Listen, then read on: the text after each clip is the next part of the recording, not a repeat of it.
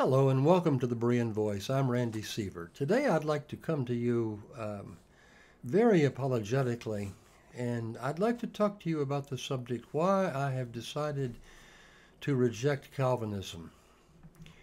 And the reason is I've been I've been spending time watching Dr. Leighton Flowers on his uh, broadcast Soteriology 101 and I, I've come to understand some things that for for the last 50 years I have just been completely and absolutely wrong about. I, I was reared in a, a, Southern Baptist church, and during my formative years, I was about 16 years of age when my father uh, left the Southern Baptist Convention and became uh, an unaffiliated Baptist pastor. He never liked the idea of uh, uh, independent fundamentalist Baptist, but he was unaffiliated, and um,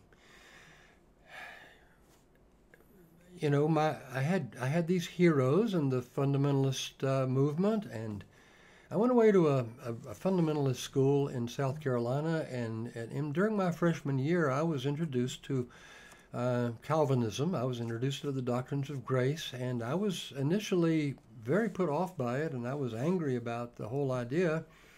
And I began to study, and um, over the next two years, I came to an understanding, I thought, of of um, what Calvinists believe, and I embraced the doctrine, and, and that's been many, many years ago. I, we're talking about um, over 50 years now, and um, I have tried to be faithful to what I believe Calvinists taught, um, uh, and I've tried to be faithful to what I believe the Bible taught, and and and but but I've been listening to Dr. Flowers, and shoot, every time I listen to him, I, I get more and more enlightened about what Calvinists believe. And, and from what he's telling me, Calvinists don't believe anything like what I've always been taught or what I've read. And I've, I've listened, I've read extensively in, in uh, Reformed theology, and uh, I, I graduated. My, my terminal degree is from Westminster Theological Seminary,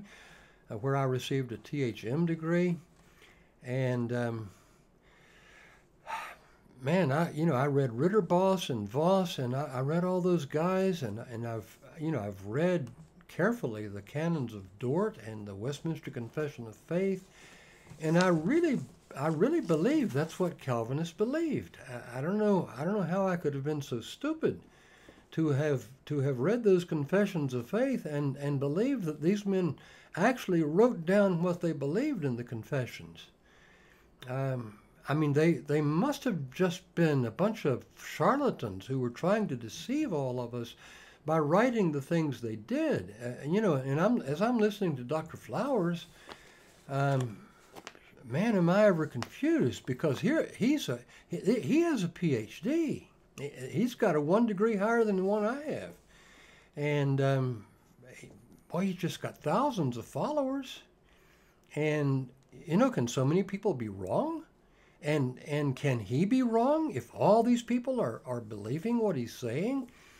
And um, you know, he's just having a powerful impact. So, you know, I've just come to the conclusion that th- there wasn't a single Calvinist in the last 500 years who who understood, or 400 and whatever years, uh, who really understood what they believed. They they uh, they must have really thought they believed something different from what they believed because I mean, they wrote all this stuff down in their confessions, and and according to what Dr. Flowers is saying, they didn't really believe any of this stuff.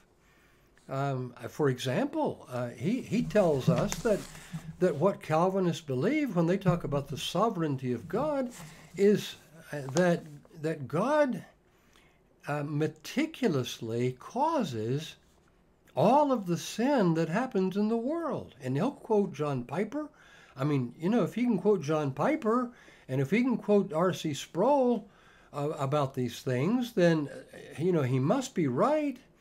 And and he'll he'll quote Piper and and he's convinced, and he's convincing me that that man Piper believes that when a when a child is molested and and and look. I, I, think Dr. Flowers is right in using that emotionally charged example because you couldn't talk about something that's less emotionally charged and get your point across. And so you have to you have to think about the most gruesome thing you can possibly think of, and then talk about God ordaining that and God causing that. And and He'll convince you if you listen to Him without thinking. Uh, he'll convince you that yeah, God caused he put the thought into the person's mind, he put the desire into the person's mind to, to molest a child, and he caused that child molestation. That's what Calvinists believe. You know, they, they must have been off uh, out of their gourd when they wrote when they wrote that that when God decreed all that he decreed, that does make not does not make him the author of evil he, they must have been really confused when they wrote that he doesn't have fellowship with any in sin. They must have been really confused when they wrote that God does not violate free will they must have been really confused when they said God uses second causes, sometimes causes which are contrary to his, his de- declared will to accomplish his purpose. They, they must have really been confused when they wrote those things. Because what Dr. Flowers is saying that Calvinists believe and what these Calvinists say Calvinists believe are two completely different things. In fact, in my whole 50 years of being a Calvinist, I don't think there was ever a time that I ever met a Calvinist. Now, there were some hyper Calvinists along the way, uh, but obviously they didn't believe what Calvinists have confessed to believe, or they wouldn't be hyper Calvinist. But I never met a single Calvinist who ever understood uh, with the keen insight that Dr. Flowers has about what Calvinists believe, contrary to what he's been told many, many, many times about what Calvinists believe. Um, but but the keen insight that he has about what Calvinists really believe, we, we, you know, we don't believe what we say we believe. We what we really believe is that God meticulously, like a puppeteer, God meticulously causes everything that comes to pass, so that God is indeed the author of sin, and He does have fellowship. You know, God is the one who puts that pride into our into our hearts. God is the one who who causes us to to do evil things because we believe God is just a, a malevolent being who uh, doesn't care anything about holiness or righteousness, but but all he cares about is the manifestation of his own glory. Um, and that has nothing to do with the manifestation of His holiness. Um, so, you know, again, Dr. Flowers must be right because, you know, he's he's got a PhD and he's got all those followers, and you know, he used to be a Calvinist. He says, if you can believe that. Um, and and so he, you know, I'm sure he's right in all of those thousands upon thousands upon thousands of Calvinists who have lived uh, since 16, 18, and 19. All of them, all of them, um, just were really confused about what they believed because they stated things that Dr. Flowers is now telling us just aren't, aren't true. Um, and you know, in addition to that, I've I've seen Dr. Flowers talk about the fact that Calvinists don't believe that that um, there is any provision made for any sinner, and that that if sinners, according to the Calvinists, if a sinner goes to hell, it's because God didn't make any provision for him. And I want to talk in our next video about uh, what's wrong with limited atonement, and we'll we'll get into that a little bit.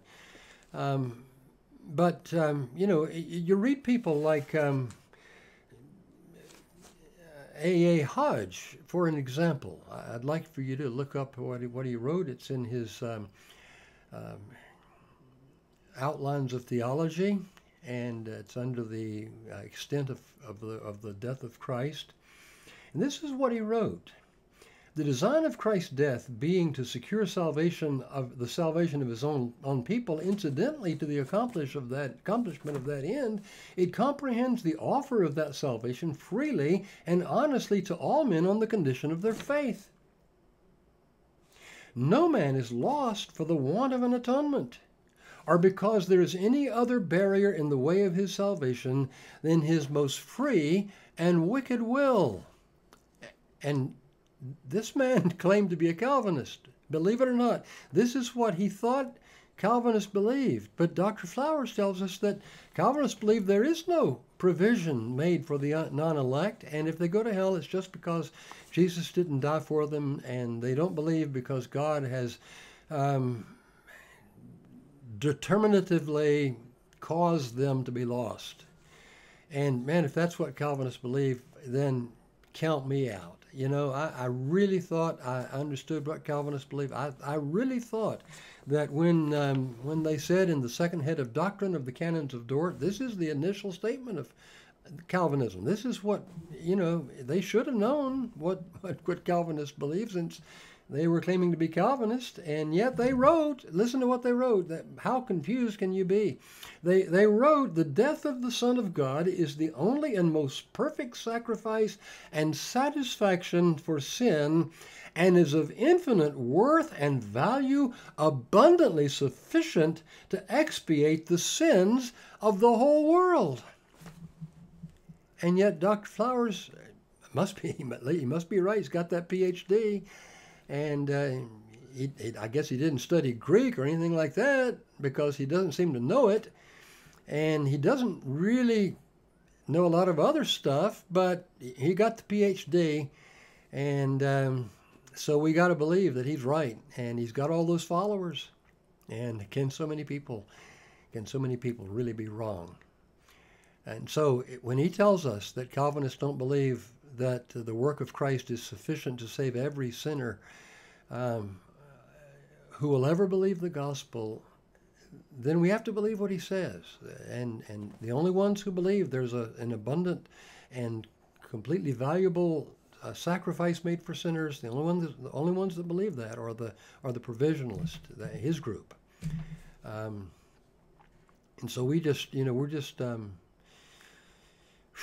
if you're a Calvinist, you're just really confused because you know some of you people have stated these things that you believe, and I guess you really think that's what Calvinists believe. But Dr. Flowers is right. Shoot, who are we to disagree?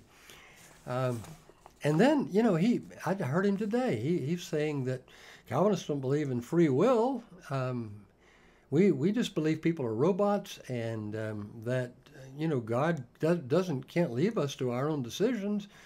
Um, it's like you know you put food in front of a child, and you can force them to eat it, or you can just leave the, leave it to them to them to eat it or not eat it. And uh, that's the way God does things. He doesn't force people like the Calvinists believe he forces people against their wills.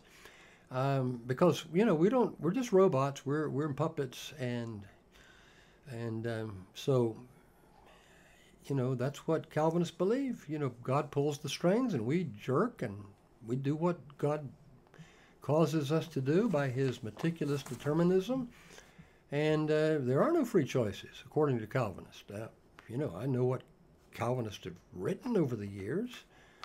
Um, and I know they really think that when sinners come to Christ, they do so freely and willingly um, and, and embrace Christ as he is offered in the gospel. I know that's what the confession says, but, you know, can Dr. Flowers really be wrong if he's got that PhD and all those followers? Uh, you, you know, think about that. So, so I, I have to confess that even though I thought I was a Calvinist because I believed these other things that Calvinists teach and have taught for centuries now, um, you know, I, if God, Dr. Flowers is right, I, I guess I'm just not a Calvinist. And uh, so we're going to talk next time about uh, about what's wrong with limited atonement, because um, you know we, we we really need to get that straight. So um, I hope I hope you'll reconsider if, you, if you've thought you're a Calvinist all this time.